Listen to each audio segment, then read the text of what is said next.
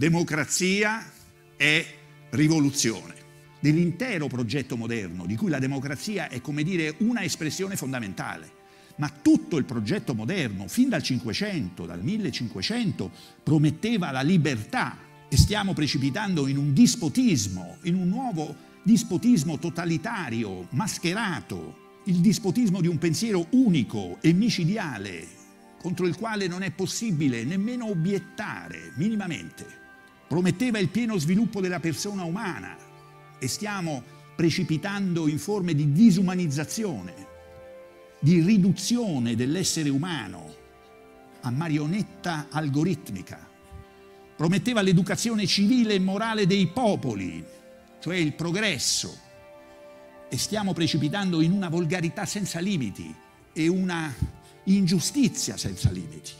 Perché dobbiamo continuare ad ascoltare questa gente che fa finta di non sapere niente per dominare gli umani, per continuare a schiacciarci, a intristirci, a colpevolizzarci?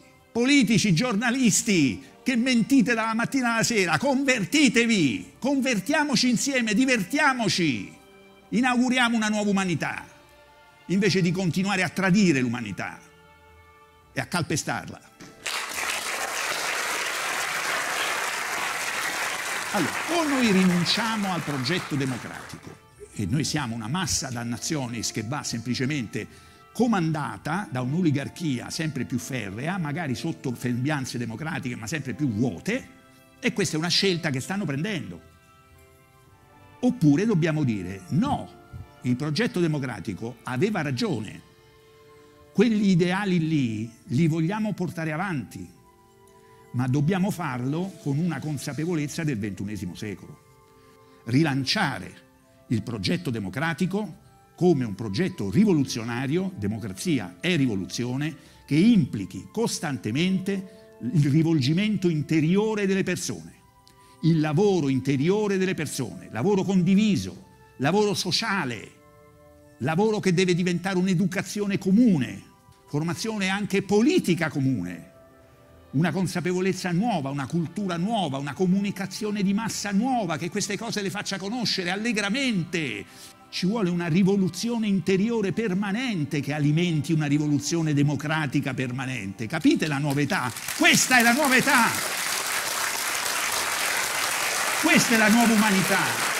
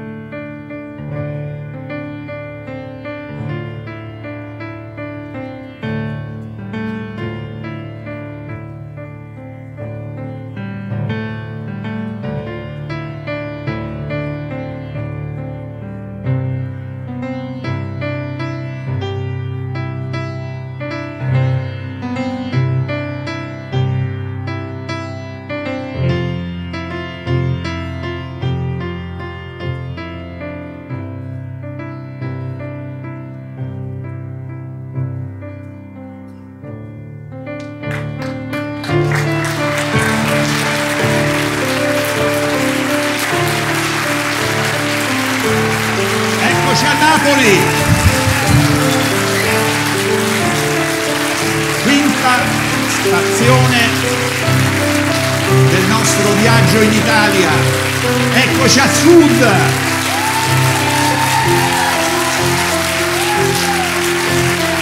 Avevate voluto, avevate richiesto una presenza nel meridione, giustamente, eccoci qua. Grazie Napoli. Grazie Caserta, Salerno, Avellino, Benevento, terra di mia madre. Grazie. Calabresi, quanti calabresi ci sono? Alzatevi calabresi se ci sono. Calabresi, oh, terra di mio padre. Pugliesi, ci sono pugliesi, pugliesi nascenti, in piedi, alzatevi, i pugliesi, pugliesi nascenti, viventi, lucani, c'è qualche lucano, eh, abitante della Basilicata, eccola qua, ce l'abbiamo. Campani, siciliani, siciliani, siciliani, benvenuti, benvenuti tutti a questa quinta stazione del nostro viaggio. Democrazia è rivoluzione. Questo è un annuncio. In questa prima fase che stiamo portando in tutta Italia, noi ci limitiamo, come capite, a lanciare un annuncio. Poi ci sarà il tempo di riflettere più a fondo, di affrontare tematiche, problematiche che sappiamo benissimo quanto siano complesse. Ma questo abbiamo voluto che fosse come una festa, in un momento così buio, in un momento così cupo, dominato da un regime cosiddetto democratico che ogni giorno di più si manifesta nella sua natura totalitaria, militaresca, brutale, abbiamo sentito il bisogno di parlare un'altra lingua ripigliamoci il respiro. Ragazzi, prima di tutto, liberiamoci da questa gabbia asfissiante nella quale vorrebbero che noi vivessimo, o meglio morissimo. Dimostriamo come oggi, ancora oggi, che ci sono milioni di italiani che non sono disposti a farsi ingannare da queste commedie che diventano veramente oscene. Queste feste della Repubblica Ucraina che abbiamo festeggiato ieri, celebrando una Costituzione che viene calpestata dalla mattina alla sera nei suoi fondamentali. Un'Italia che ripudia la guerra e che addestra ad andare in guerra che addirittura vuole investire i soldi che dovrebbero essere appunto impiegati per gli ospedali e per gli asili, per le munizioni da dare a un popolo che sta massacrato, che viene massacrato per ragioni oscure in realtà, senza nessun intervento di reale volontà di pace da parte dell'Italia e dell'Europa. C'è un popolo italiano che questo lo sa e che non ha rappresentanza politica. I dati ci dicono che il 49% degli italiani è contrario a, a, continuare a inviare armi in questo senso, ma non si vede, non si sente, no? Non abbiamo più rappresentanza politica. E allora, intanto, concediamoci il piacere di annunciare davanti al mondo e tra di noi che noi siamo una nuova umanità, siamo ai confini di una nuova età. Sappiamo benissimo che sarà un lungo cammino, che non è una cosa così, noi non siamo improvvisatori, procediamo lenti, graduali, con un realismo profondo, insieme ad una grande visionarietà. Però questo cammino va iniziato. Ecco perché abbiamo dato avvio ad un'avventura un po' folle, eh? una carta della nuova umanità nella quale potersi riscontrare, sulla quale poter concordare gente che viene da tante tradizioni politiche, culturali, spirituali, ma che ha, come dire, alcuni punti in comune che ormai sono fondamentali, vitali. E questo noi lo facciamo, ragazzi, come un movimento, perché noi siamo un movimento, darsi pace, l'indispensabile. Siamo un movimento che esiste da 23 anni. Siamo gruppi di persone reali, fisiche, che si conoscono, che fanno un lavoro insieme da decenni. E questa è la nostra forza che ci consente di andare in tutta Italia e di trovare in tutta Italia una rete umana già pronta. Quindi questa per noi è anche la prima assemblea interregionale del Sud Italia per quanto riguarda il nostro movimento e quindi vi presento eh, diciamo, i protagonisti di questa nostra serata a partire da Gabriele Broglia. Gabriele Broglia.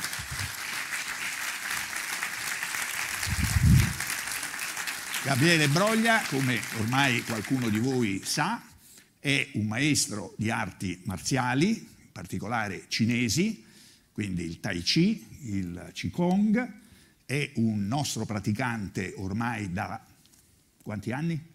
Sette. Da sette anni, quindi è un praticante diciamo avanzato e oggi, come ogni volta, ci aiuterà nella lettura della carta perché la lettura della carta non è una cosa, come dire, indifferente. Leggere i testi importanti è qualcosa di importante. Quindi grazie Gabriele, prego, accomodati. e poi Giorgia Cecconi, Giorgia Cecconi, musicista, pianista di livello internazionale, e che, come avete già sentito e come sentirete, ci accompagnerà, ma lei è anche una praticante, anche lei da? Sette anni, da sette anni quindi noi siamo appunto una rete di persone che si conoscono. Questo ragazzi è fondamentale per un qualunque nuovo movimento culturale o politico che non voglia fare la fine di quelli che abbiamo visto negli ultimi anni, cioè fuochi di paglia, o peggio, dovrà essere fondato su relazioni solide, su una umanità provata, che non cade, capisci, alla prima esca del potere, che gli dai lecca lecca e quelli subito diventano cagnolini che scodinzolano e che poi hanno anche i posti in Europa. Vergogna!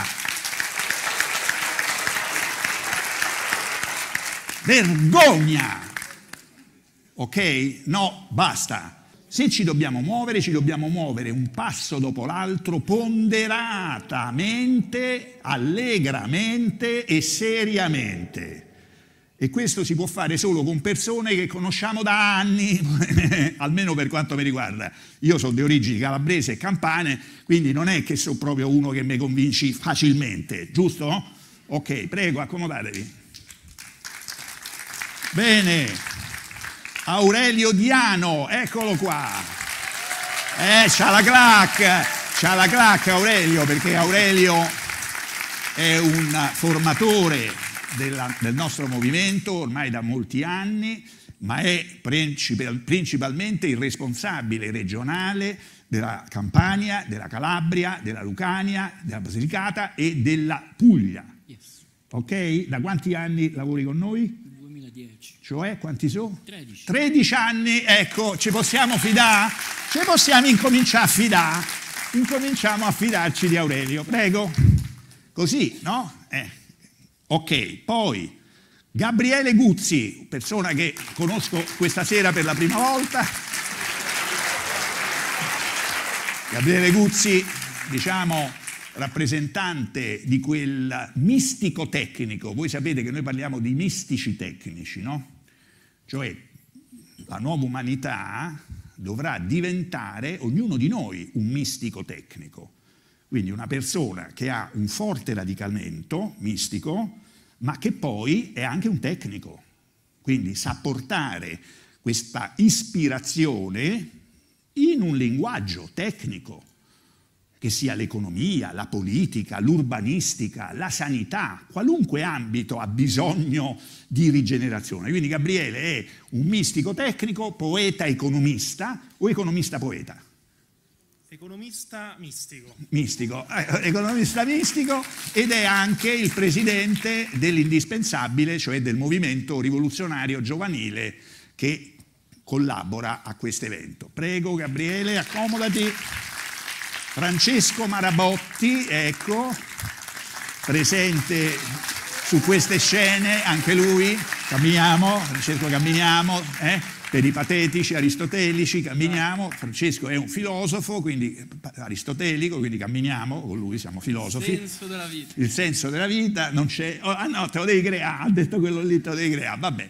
Comunque eh, Francesco è anche lui un mistico tecnico, quindi filosofo ma militante, anche lui è un formatore ormai formato dei gruppi Darsi Pace, con i quali collabora da Dieci anni. Da dieci anni era bambino, proprio scappava, noi lo inseguivamo e poi è diventato, vedi come è diventato bello, bravo, ecco, ha pubblicato anche un libro nella collana Crocevia ed è anche responsabile regionale del Piemonte, quindi c'ha un sacco di responsabilità. Prego, accomodati.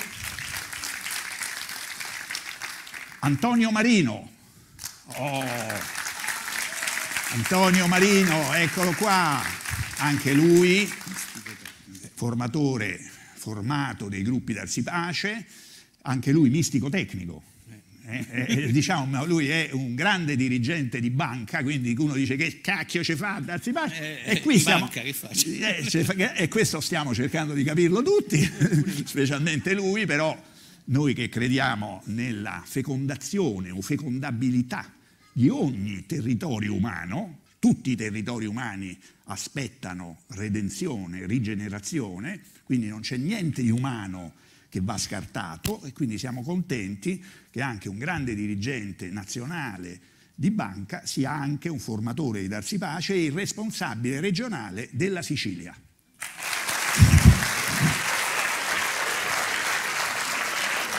Allora, cari ragazzi, poche parole per avviare questa nuova lettura della carta. Ogni lettura che noi facciamo in giro per l'Italia è un evento nuovo. Non c'è alcuna ripetizione, come dire, meccanica. Noi non ripetiamo in senso meccanico, noi ripetiamo in senso filosofico, cioè chiediamo di nuovo. Ripetere vuol dire chiedere di nuovo. Noi continuiamo a chiedere, cioè continuiamo a pensare. Allora, cari amici, noi siamo costretti, per certi aspetti, a dire democrazia è rivoluzione. Siamo costretti a inaugurare una nuova età. Siamo costretti perché la vecchia età, no? New Age, no, questa è la Old Age, la Old Age è veramente finita ed è finita, come sappiamo, molto male, sta finendo male, sta finendo molto male in questa specie di deserto spirituale asfissiante eh, dove stiamo appunto soffocando tra burocrati, eh, pagliacci e collaborazionisti di, del sistema della morte. Cioè persone che più o meno consapevolmente, se sono inconsapevoli mi dispiace per loro, se sono consapevoli non mi dispiace più di tanto, tutti sono comunque qui convocati, noi non escludiamo nessuno. Cioè, tanti funzionari della morte che fanno una vita così, no? Tanto solo per guadagnare denaro, per guadagnare un potere sempre più insignificante, ma venissero qua, collaborassero con noi, iniziassero a occuparsi della loro vita, invece di tradirla alla ricerca di un potere vano, che gli si ridurrà in cenere tra le mani, questo è sicuro. Quindi noi non escludiamo nessuno, convochiamo tutti, ben vengano, ben vengano. Siamo un'umanità in conversione, convertiamoci tutti, politici, giornalisti, che mentite dalla mattina alla sera, convertitevi, convertiamoci insieme, divertiamoci, inauguriamo una nuova umanità, invece di continuare a tradire l'umanità e a calpestarla è un'intera epoca del sogno democratico che sta finendo. È una, nuova, è una vecchia umanità, ma è anche, come dire, un intero sogno democratico che si sta esaurendo in forme che contraddicono ogni giorno di più tutte le speranze che avevano alimentato quel sogno. Il sogno democratico è un sogno pieno di speranze. Le più grandi democrazie ormai sono finite sotto il dominio di pochissimi centri di potere, lo sappiamo tutti. Sono ormai oligarchie, altro che governo dei popoli. Le democrazie occidentali sono ormai il paravento, sempre direi meno efficace, cioè questo paravento poi manco funziona, perché ormai lo vediamo tutti, lo sappiamo tutti, che maschera la tirannia di alcuni miliardari più o meno deliranti che ci fanno vedere, no? Pronti ad essere celebrati nelle prime pagine del Corriere della Sera, appena fanno qualche altra pazzia, appena mettono in opera qualche altro delirio, i microchip nel cervello degli umani, i viaggi turistici su Marte, poi ci parlano del problema ecologico, della difesa dell'ambiente, insomma è un pazzi, una pazzia totale, è ovvio, no? Quindi le democrazie occidentali mascherano ormai male, mascherano male le manovre speculative dei grandi fondi di investimento, mentre miriadi, miriadi di scagnozzi più o meno cocainomani fanno il lavoro sporco contro di noi, ricatti, omicidi, stragi, propaganda indecente o guerre alla bisogna. E tutto questo viene fatto sostenendo di difendere appunto i valori della democrazia. Quindi, come dire, cornuti e mazziati, no? come dice a Napoli, cornuti e mazziati, ci prendono in giro senza pudore. Era veramente qualcosa di comico ieri assistere a quella parata d'altri tempi, non so in che epoca è stata fatta, nell'Ottocento, no? con questa retorica risorgimentale patetica, patetica, fuori tempo, fuori luogo, irreale che a me mi faceva, mi faceva venire noia quando la faceva Carducci, pensate voi. Già alle persone più sensibili appariva superata, no? Pensa a Ungaretti, cioè Ungaretti, no? già negli anni 10 del Novecento già aveva smontato tutta questa retorica nei massacri della prima guerra mondiale e qui ancora celebriamo, ancora celebriamo i massacri invece di essere contriti della morte di tutti quei giovani no? Questo ne parleremo, ma questo dovrebbe accadere, no? Quindi le democrazie più antiche, oltretutto, precipitano nella corruzione, che è prima di tutto mentale. Un uomo, una donna è corrotto o corrotta non solo quando prende direttamente la mazzetta da qualcuno, ma è corrotto, cioè rotto, corrotto, è rotto nel momento in cui ha già rinunciato alla propria verità, alla propria integrità, ha rinunciato in partenza a fare una vita decente, a fare una vita che corrisponda alla propria ricerca di verità, di integrità, di bellezza e si è venduto, già lì è corrotto. Poi dopo che ce vo a corromperlo con qualche lecca lecca, con qualche... Eh, che ce vo? Eh? Qualche posto, ben pagato, insignificante ma ben pagato, che ce l'ho? Quello è già corrotto. Ecco perché noi dobbiamo innanzitutto lavorare alla nostra integrità. E se un giorno dovremo arrivare a concorrere anche al governo di un paese, non io, ma insomma noi, dovremmo arrivarci con un ceto direttivo abbastanza verificato su questo punto che abbia almeno per alcuni anni lavorato alla propria integrità, che abbia verificato il proprio anelito alla verità come centro dell'esistenza, intorno al quale poi ruota tutto il resto, il lavoro, tutto quanto.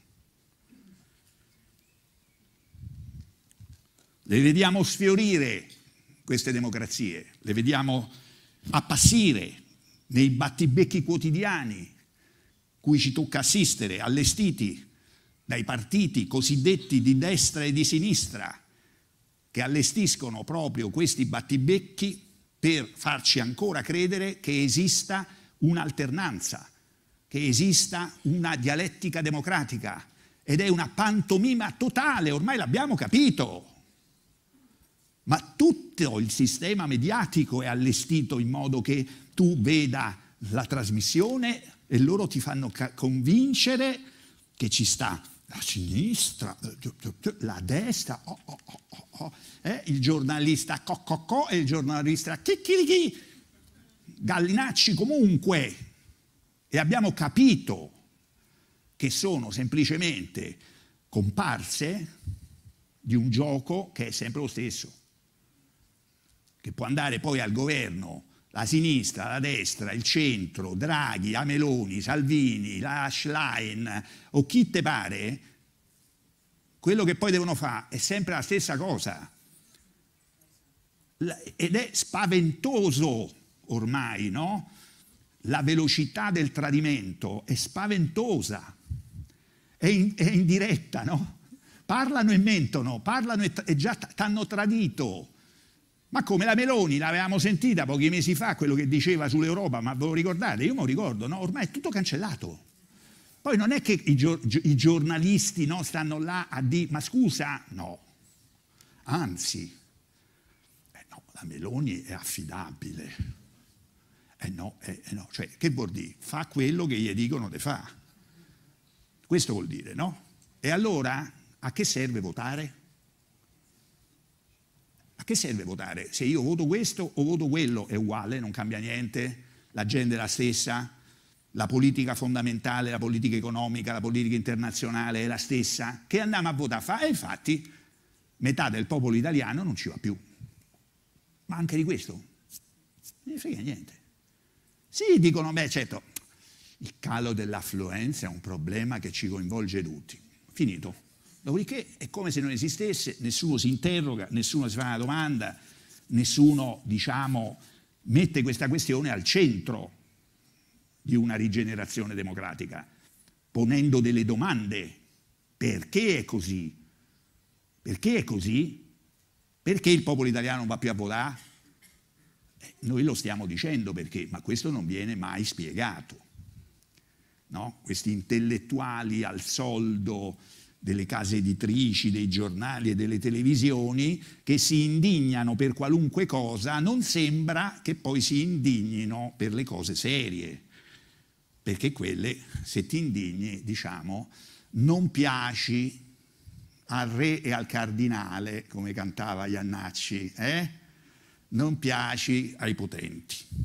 Siamo dunque alla fine, eh? siamo, diciamo, arrivati alla catastrofe catastrofe che noi riteniamo evolutiva, ma certamente catastrofe dell'intero progetto moderno, dell'intero progetto moderno, di cui la democrazia è come dire una espressione fondamentale. Ma tutto il progetto moderno, fin dal 500, dal 1500, prometteva la libertà, la ricerca della libertà, una maggiore libertà. E stiamo precipitando in un dispotismo, in un nuovo dispotismo totalitario, mascherato, il dispotismo di un pensiero unico e micidiale contro il quale non è possibile nemmeno obiettare minimamente. Prometteva il pieno sviluppo della persona umana e stiamo precipitando in forme di disumanizzazione, di riduzione dell'essere umano a marionetta algoritmica. Come, vedete le pubblicità? Come, come vengono rappresentati adesso gli umani? una corrente elettrica che li attraversa e si muovono così. No, è, è quello è il modello. Un robot, una marionetta nelle loro mani. Quell'energia è quello che ti dicono loro, è il flusso di informazioni che ti attraversa e diventi tu. Quello è il modello. Prometteva l'educazione civile e morale dei popoli, cioè il progresso. E stiamo precipitando in una volgarità senza limiti, una volgarità e una ingiustizia senza limiti, il consumismo più bieco, propagandato nei modi più indecenti da conduttori, conduttrici televisivi, comparse varie, comparse di un avanspettacolo da quattro soldi, non si può più vedere, non si può più vedere. Io veramente ormai non riesco più a stare un minuto su un programma, devo subito cambiare. Ma come mai siamo arrivati a questo, ragazzi? Io oggi lancerò solo una pallina su questa domanda, però la devo porre. Come mai siamo arrivati a questo? Cioè perché? Perché il progetto moderno, la modernità, di cui la democrazia è, come dire, una parte sostanziale, arriva qui, arriva a questo che abbiamo descritto, a questo fallimento così eclatante? Perché? Anche questa domanda non viene mai posta, no? Non viene mai posta. Nemmeno in superficie, nemmeno a livello superficiale ci si chiede no, come mai i progetti, che ne so, socialdemocratici, socialisti del Novecento eh, sono arrivati a questo livello di collaborazionismo oligarchico, contraddicendo se stessi. Perché? Beh, io ripeto, su questo abbiamo riflettuto molti decenni, ma possiamo dire una cosa semplice stasera. Il progetto democratico moderno pretendeva l'impossibile. Questo è il motivo per cui adesso questa pretesa impossibile sta manifestando la propria natura di pretesa impossibile. Che cosa pretendeva il progetto democratico? Il progetto democratico, liberal-democratico, pretendeva semplicemente che il cittadino sostanzialmente fosse un santo. Questo pretendeva. E vi faccio due citazioni, così vi ricordate che quello che dico non è un mio progetto fantastico, no? Allora, andiamo alle origini. 1794, Condorcet. Siamo proprio, come dire, agli albori. Condorcet dice, si tratta di rendere qualità quasi universali un giudizio retto, udite bene, qualità universali, un giudizio retto, una ragione sana e indipendente. È notorio che tutti gli umani posseggono queste qualità ovunque, no? e già nel 1794, come poi abbiamo visto nei 200 anni successivi, abbiamo tutti dimostrato di avere universalmente queste qualità che Condorcet dava come per scontate una coscienza illuminata e una sottomissione abituale alle regole di umanità e di giustizia. Questo era il progetto democratico originario. Facciamo un salto di cento anni in avanti e torniamo qua, in Italia. Il nostro Francesco De Santis, grande italianista risorgimentale, nel 1877, quindi siamo quasi un secolo dopo, dice l'ideale moderno della libertà e della inviolabilità della persona umana, ok? Ideale moderno che c'è anche nella Costituzione italiana, no? Non è altro che la trasposizione in veste filosofica dell'ideale cristiano la trasposizione in questa vita terrena della purificazione e santificazione dell'uomo. Quindi i risorgimentali italiani, quelli più illuminati, dicevano lo Stato democratico liberale presuppone e diciamo pretende l'illuminazione, la purificazione e la santificazione di ognuno di noi uno dei grandi costituzionalisti contemporanei, Zagrebeschi, nel suo famoso libro sulla democrazia, dice la democrazia è forma di vita di esseri umani solidali.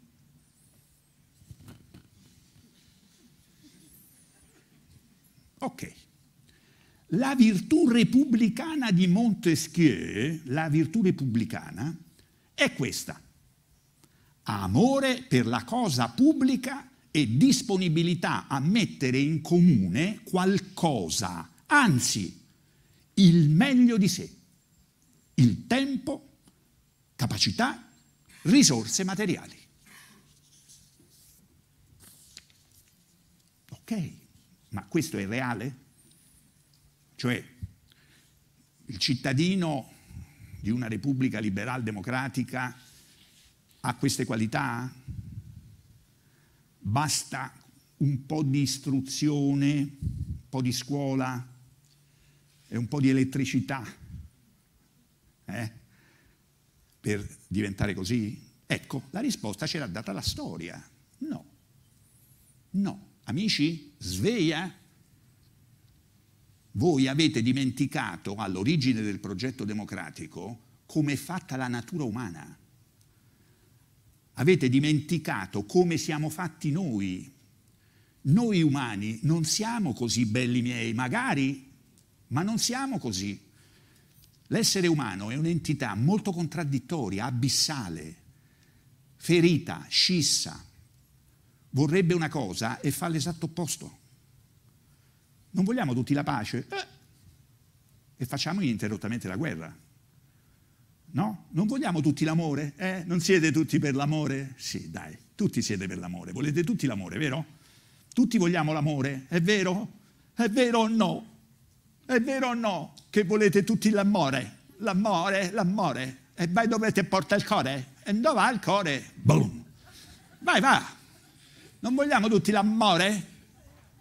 Però di fatto ci scanniamo dalla mattina alla sera, o no? Tra fratelli, sorelle, non parliamo coniugi, ok? Come mai? Come mai Condorcet? Eh, come mai? Ci vogliamo porre questo problema?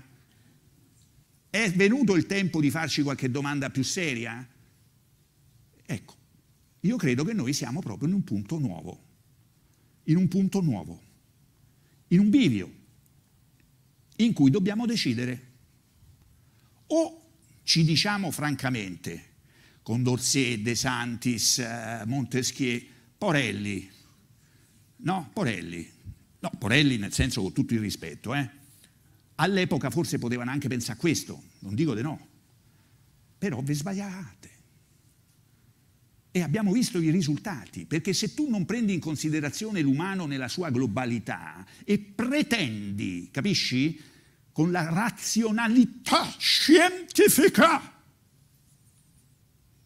di avere un popolo così santificato, finirai per massacrarlo questo popolo, perché non corrisponderà alle tue aspettative e farai la fine di Robespierre, che pensava esattamente questo. Siccome però si guardava intorno e non trovava questa virtù repubblicana, eh, giustamente dice, beh, lui mi sa che la virtù repubblicana non ce l'ha al 100%. Allora sai che facciamo? Gli tagliamo la testa, uno di meno. Tu? No, virtù repubblicana, non mi pare.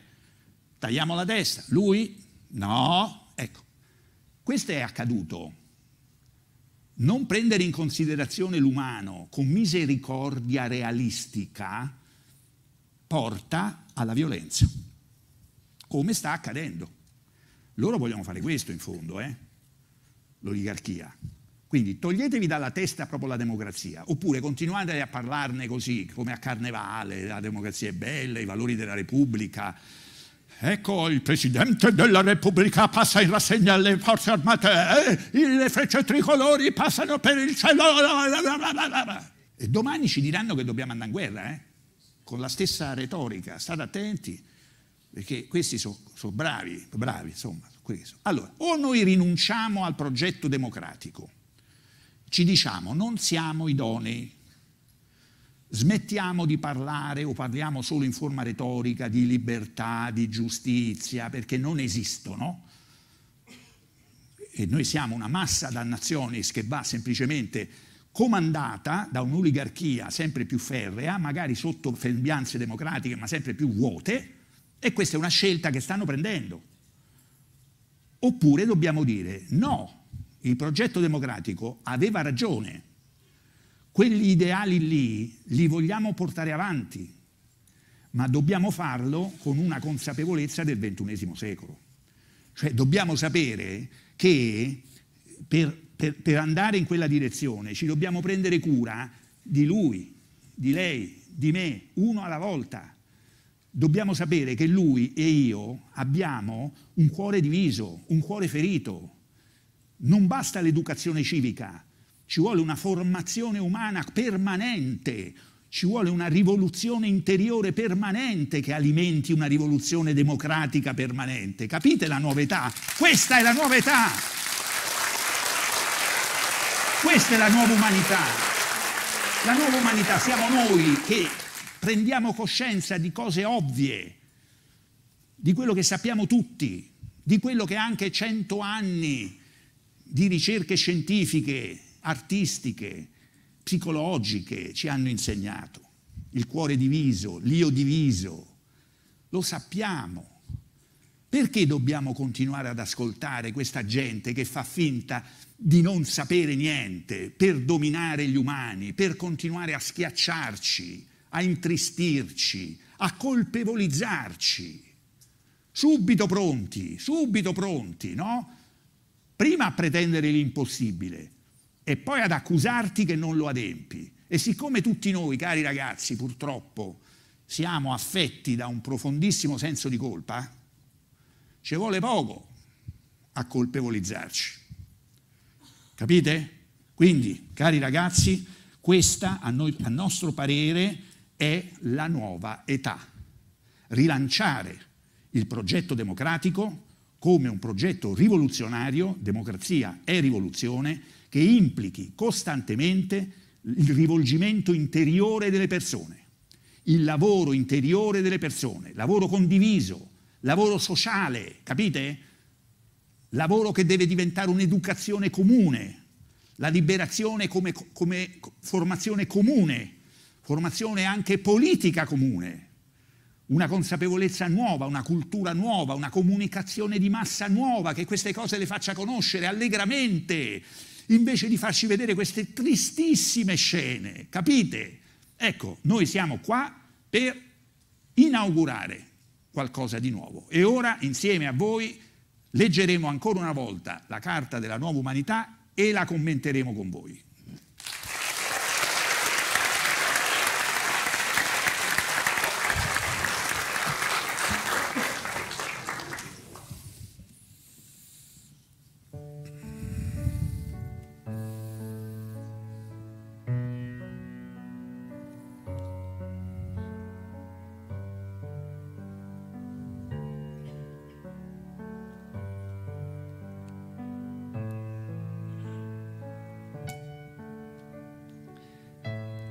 Inauguriamo un nuovo grande ciclo della storia. Lo facciamo consapevoli di tutte le difficoltà a cui andiamo incontro, ma anche della forza straordinaria che ci anima e della spinta ineluttabile che sta conducendo il vecchio ciclo a finire. Il sistema della guerra è agli sgoccioli, sopravvive solo intensificando le strutture della violenza, del controllo e della menzogna. È tempo di mobilitarci, di aggregarci, di crescere insieme.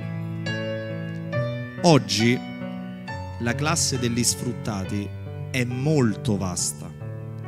Siamo tutti noi in realtà e tutti noi siamo perciò chiamati a dare vita ad un grande rinnovamento che tutti noi però possiamo anche rifiutare.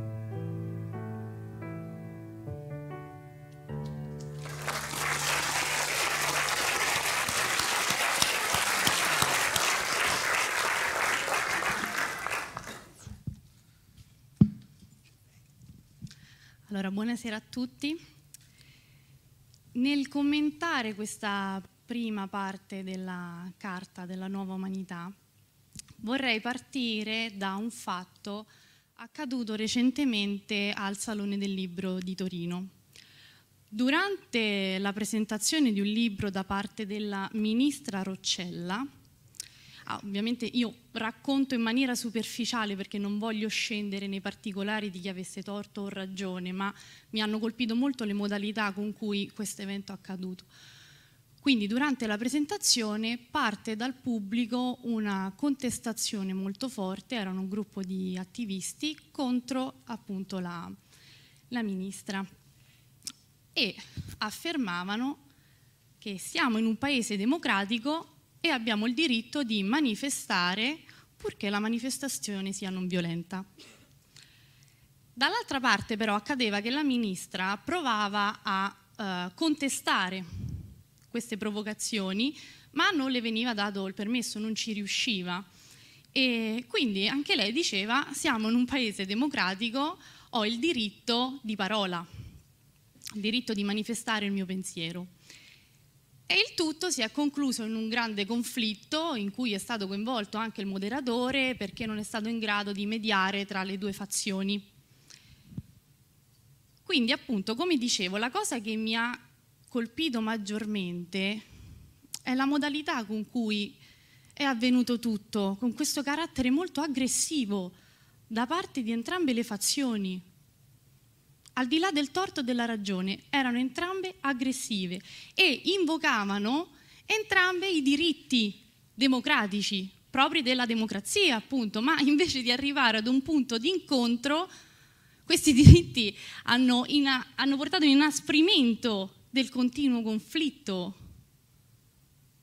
È questo che a me ha lasciato molto perplessa. Cioè mi ha fatto riflettere su sull'indice della menzogna propria di questa democrazia. Invochiamo i diritti, ma non portano a nulla di, di risolutivo. E capiamo bene che questa modalità appartiene a tutti noi, come diceva Marco, nella nostra vita quotidiana, intima, personale, nelle relazioni sociali, per non parlare a livello globale.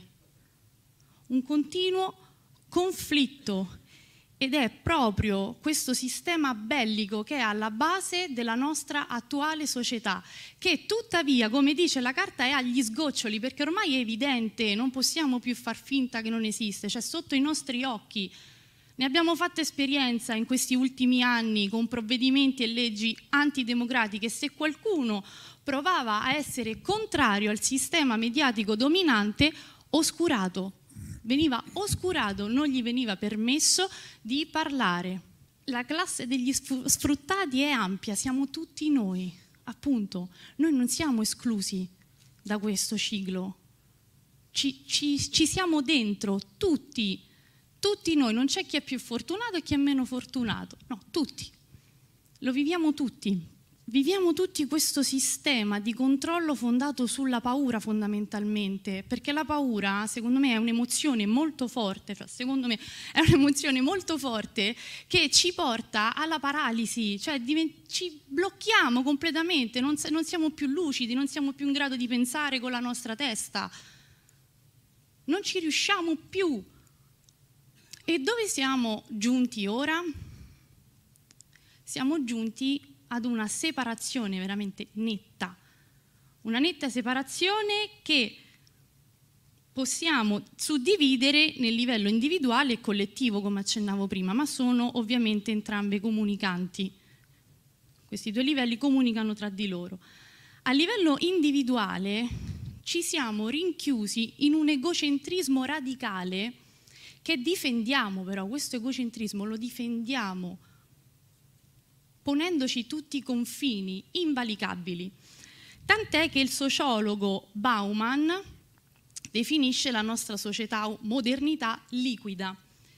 E qui vi cito Umberto Eco, che secondo me spiega molto bene questo concetto, e afferma che è una modernità fondata su un individualismo sfrenato, dove nessuno è più compagno di strada, ma antagonista di ciascuno da cui guardarsi. Molto interessante questo, un dato molto interessante. E quindi a livello collettivo che cosa succede? Questa crisi interiore dell'uomo la riportiamo appunto nelle nostre relazioni sociali e ci porta allo sgredolamento del popolo. Ma non è la democrazia il governo del popolo? E un popolo diviso che potere può avere? È normale che viene facilmente controllato da un sistema oligarchico. È facilmente controllato, siamo malleabili.